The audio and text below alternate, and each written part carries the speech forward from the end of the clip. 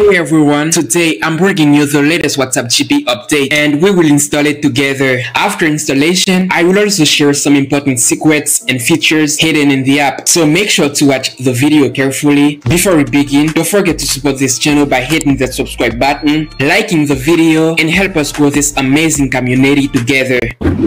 This video has three steps. In the first step, we'll download the WhatsApp. In the second step, we'll configure it. And in the third step, we'll explore some of the features included in the WhatsApp. You'll find the download link for GB WhatsApp in the description of this video. Click the link to download it. Once the download is complete, install it, but don't open it just yet. Instead, go to your phone settings, then to apps, and locate WhatsApp. Here's what you will do. Grant all the necessary permissions for WhatsApp. So make sure you don't skip it. Once the permissions are set, go back and open the WhatsApp.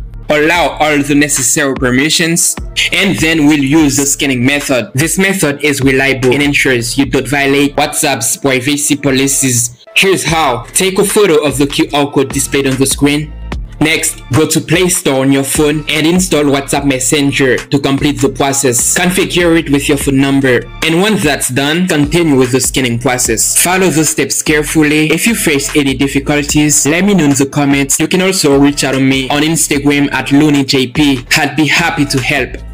Wow, once connected, you'll notice the stylish interface of this updated GB WhatsApp. It comes packed with amazing features that are both useful and exciting. I'd like to highlight a couple of the features I enjoy most. Click on the three dots in the top right corner, tap on GB settings, go to privacy and lock, activate show deletion time to see the exact time someone deletes a status or message and then activate show blue ticks after reply. Once activated, the sender won't know you've read their message until you reply. There are so many exciting features I'll share with you in an upcoming video. So make sure you subscribe and turn on the notifications to stay updated. If you have any questions or encounter any issues during the setup, feel free to leave a comment or contact me on Instagram. I'm here to help. Thank you for watching and I'll see you in the next video. Take care.